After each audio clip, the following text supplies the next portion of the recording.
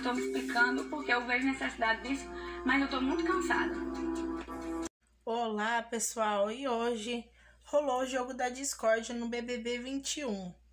O jogo da Discord hoje foi diferente e foi em homenagem ao cantor Roberto Carlos.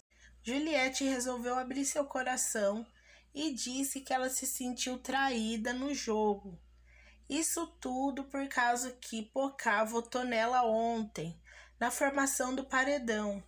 Juliette ficou muito decepcionada com o voto de Pocá. Ela acreditava que Pocá não ia votar nela, porque um tempo antes do, da formação do paredão, a Pocá disse que tinha certeza que ela não ia votar na Juliette. Mas depois ela fez muito diferente, acabou votando sim na Juliette.